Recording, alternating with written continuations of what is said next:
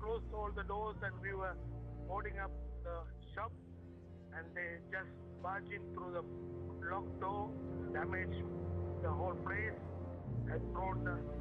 bottle on me to damage me too.